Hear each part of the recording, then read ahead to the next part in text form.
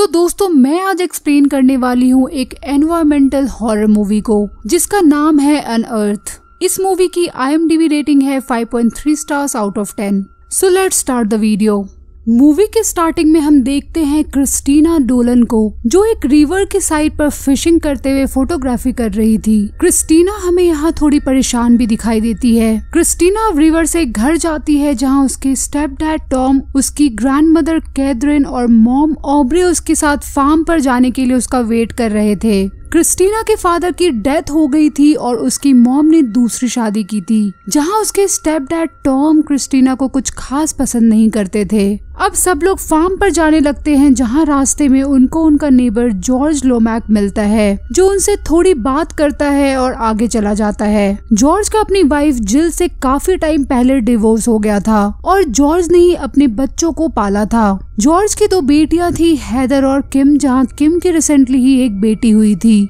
जिसका नाम रीस है। टॉम और जॉर्ज एक दूसरे के पड़ोसी थे और वो दोनों ही फार्मर्स थे, जो अपनी फ़ार्मिंग पर ही पूरी तरह से डिपेंड थे। फ़ार्मिंग के साथ साथ जॉर्ज अपनी गराज पर मैकेनिक का काम भी किया करते थे। जॉर्ज घर आता है जहाँ वो और किम रीस के साथ खेलते हैं और किम अपने कॉलेज चली जाती है, एज वो अभी टीनेजर ही थी। अब घर पर रात को कैथरिन, टॉम और ऑब्री बात कर रहे होते हैं, जहाँ कैथरिन न्यूज़ पढ़ती है कि लोग अपनी अपनी जमीनी गैस स्टेशन के लिए दे रहे थे। और कैथरीन को इस न्यूज़ पर गुस्सा आ जाता है। अपने घर पर जॉर्ज अपनी एक्स वाइफ जिल से थोड़े पैसों की हेल्प माँगता है। क्योंकि जॉर्ज इनफ मनी अर्न नहीं कर पाता था बट जिल से उसकी बहस हो जाती है। किम भी अपनी मॉम के केयरलेस बिहेवियर से खुश नहीं थी एज वो भी जिल को पसंद नहीं करती थी। अब रात को जॉर्ज गराज पर एक कार रिपेयर कर रहा होता है और दूसरी ओर क्रिस्टीना भी अपने फ़ोटोज़ को डेवलप कर रही थी। नेक्स्ट मॉर्निंग जॉर्ज की गराज पर अपनी कार उठाने एक लेडी आई होती है, जिसको जॉर्ज बताता है कि उसने कार में कुछ और प्रॉब्लम्स को भी ठीक कर दिया है। जॉर्ज उस लेडी से रिपेयरिंग चार्ज माँगता है बट वो लेडी उसको बहुत ही कम पैसे देती है, जो जॉर्ज को लेने पड़ते हैं और वो कुछ नहीं कर पाता। दूसरे सीन में कैथरीन अपना ट्रैक्टर ठीक कर रही होती है, जहाँ टॉम भी उसकी हेल्प कर रहा था। टॉम यहाँ पर कैथरीन को अपनी ज़मीन बेचने की सलाह देता है, जहाँ कैथरीन उस पर गुस्सा करती है और उसको मना कर देती है। क्रिस्टीना और ऑब्री आपस में बात कर रही थी, जहाँ ऑब्री टॉम के बिहेवियर से खुश नहीं थी और क्रिस्टीना को भी पसंद नहीं करती थी। रात को क्रिस्टीना एक बार में ड्रिंक कर रही होती है और वहाँ जॉर्ज आता है। क्रिस्टीना जॉर्ज के पास जाती है और वो दोनों इंटीमेट होने लगते हैं। सुबह जॉर्ज घर आ जाता है, जहाँ उसकी बड़ी बेटी हैदर जो कुछ काम से बाहर गई हुई थी, वो वापस आ गई थी। वो तीनों थोड़ी बातें करते हैं जहाँ हैदर घर का काम करने लगती है और किम कॉलेज चली जाती है। जॉर्ज फिर से कॉल पर अपने किसी फ्रेंड से पैसों की हेल्प मांग रहा था, क्योंकि उसकी फाइनेंशियल कंडीशन बहुत खराब थी। शाम को जॉर्ज से मिलने एक गैस कंपनी का एम्प्लॉय आता है जो जॉर्ज से उसकी ज़मीन के बारे में बात करता है, जहाँ जॉर्ज अपनी ज़मीन लीज पर देने के लिए रेडी हो जाता है। वो एम्प्लॉय कैदरिन के पास भी जाता है, जहाँ कैदरिन उसको गुस्सा करके भगा देती है। थोड़ी देर बाद जॉर्ज के घर पर क्रिस्टीना आती है, जहाँ उसको हैदर भी मिलती है। क्रिस्टीना उन दोनों को डिनर के लिए इनवाइट करके वहाँ से चली जाती है। डिनर के टाइम सब लोग आपस में बात कर रहे होते हैं, जहाँ टॉम और कैदरिन जॉर्ज से उसकी ज़मीन के बारे में बात करते हैं। टॉम जॉर्ज को 200 डॉलर पर एकड़ ऑफ़र करता है, जिस पर जॉर्ज अग्री नहीं होता। क्योंकि उसको 1200 डॉलर पर एकड़ का ऑफ़र आया था गैस कंपनी से। जॉर्ज उन लोगों से बोलता है कि उसकी ज़मीन कम कीमत वाली जगह पर है। जहाँ उसको ज़्यादा प्राइस मिल रहे हैं तो वो अपनी ज़मीन गैस कंपनी को ही देगा। और वो वहाँ से चला जाता है। नेक्स्ट सीन में जॉर्ज और हैदर आपस में बात कर रहे थे कि उनको पैसे बचाने चाहिए और वो कर्ज में डूबते जा रहे थे। हैदर वहाँ से नाराज़ होकर अपने रूम में चली जाती है और वो रूम में एक ब्लेड से अपने पैर पर एक कट लगाती है। हम हैदर के पैर पर और भी कट्स को नोटिस कर पा रहे थे एज वो अपनी टेंशन को एक कट से ओवरकम करने की कोशिश कर रही थी। नेक्स्ट डे जॉर्ज फार्म जाता है जहाँ उसको क्रिस्टीना मिलती है और वो दोनों इंटीमेट होने लगते हैं। क्रिस्टीना यहाँ पर जॉर्ज की पिक्चर क्लिक करती है। जॉर्ज क्रिस्टीना से पूछता है कि वो अपनी फ़ोटोज़ को कहीं भेज रही है जिस पर क्रिस्टीना बताती है कि वो अपनी फ़ोटोज़ को अलग अलग सिटीज़ में भेज रही थी ताकि वो एज अ फोटोग्राफर अपनी करियर शुरू कर सके। नेक्स्ट सीन में हम जॉर्ज को देखते हैं जो अपने फार्म से अपने नाम का बोर्ड हटा रहा था। और गैस कंपनी ने उसकी ज़मीन लीज पर ली थी और गैस स्टेशन का काम शुरू हो चुका था। वही रात को क्रिस्टीना चुपके से फ़ोटो एजेंसी को अपनी फ़ोटोज़ भेजने के लिए पोस्ट बॉक्स में डाल रही थी। नेक्स्ट सीन में हम देख पाते हैं कि सब लोग एक मेले में जाते हैं। सब लोग मैच देख रहे थे और कैथरीन अपने एक नेबर अर्ल येट्स के साथ बैठकर बात कर रही थी। और वो जॉर्ज को देखकर बहुत गुस्सा होती है और क्रिस्टीना और टॉम को गुस्सा करके घर भेज देती है। घर पर ऑबरे और किम थे जहाँ ओबरे रीस के साथ खेल रही थी और कैथरीन घर आने पर किम को भी गुस्सा करके भगा देती है। नेक्स्ट मॉर्निंग कैथरीन रोड पर खड़ी होकर गैस कंपनी के ट्रक्स को आता हुआ देखती है, जो उसको अच्छा नहीं लगता। अब कहानी एक साल आगे जाती है, जहाँ अब जॉर्ज की ज़मीन पर गैस स्टेशन लग चुका था और अंडरग्राउंड में गैस की सर्चिंग चालू हो गई थी। हम यहाँ ज़मीन के नीचे एक अजीब से प्लांट को भी देखते हैं जिसके अंदर से व्हाइट कलर का ग्लू जैसा लिक्विड भी निकल रहा था। जॉर्ज के घर पर किम पढ़ाई कर रही होती है, जहाँ गैस स्टेशन से बहुत सारी धूल घर में आ रही थी और हैदर विंडो बंद कर लेती है। अगले सीन में क्रिस्टीना जंगल के एक ट्री हाउस में जाती है, जहाँ उसको हैदर मिलती है। वो दोनों आपस में बात करती है, जहाँ हैदर बताती है की अभी वो लोग कर्ज में डूबे हैं, क्यूँकी अभी उनको खुद ही सारे पैसे पे करने पड़ रहे हैं और कंपनी से रॉयल्टी चेक आने के बाद ही पैसों की प्रॉब्लम दूर होगी। हैदर यहाँ क्रिस्टीना को किस भी करती है? अगले सीन में हम देखते हैं कि जॉर्ज गैस स्टेशन से बहुत खुश था, वहीं कैथरीन बहुत ही ज़्यादा गुस्सा थी। साथ ही हम अंडरग्राउंड में उस प्लांट तक पानी भरता भी देखते हैं, जिससे सरफेस वाटर इफ़ेक्ट हो रहा था। कैथरीन क्रिस्टीना से बात करते हुए बोलती है कि वो क्रिस्टीना के नाम अपनी ज़मीन कर देती, ताकि क्रिस्टीना फ़ार्मिंग के काम देख सके। बट क्रिस्टीना मना कर देती है एज उसका फ़ार्मिंग में कोई इंटरेस्ट नहीं था। कैथरीन यहाँ क्रिस्टीना को ही ज़मीन देना चाहती थी, क्योंकि अगर वो टॉम को देगी तो टॉम ज़मीन को बेच देगा। और कैथरीन अपनी ज़मीन और फ़ार्मिंग से बहुत प्यार करती थी तो वो ऐसा होने नहीं देना चाहती थी। कैथरीन क्रिस्टीना को समझाने की कोशिश भी कर रही थी। घर पर टॉम और ऑबरे कार रिपेयर कर रहे थे, जहाँ गलती से ऑबरे के हाथ पर चोट लग जाती है। घर आकर ऑबरी अपने हाथ पर बैंडेजेस लगाती है और टॉम से बोलती है कि वो अभी काम नहीं कर सकती। बट टॉम उसको बोलता है कि उसकी चोट जल्दी ठीक हो जाएगी। हैदर के घर पर हैदर नोटिस करती है कि उसके घर पर बहुत ही ज़्यादा धूल आती थी,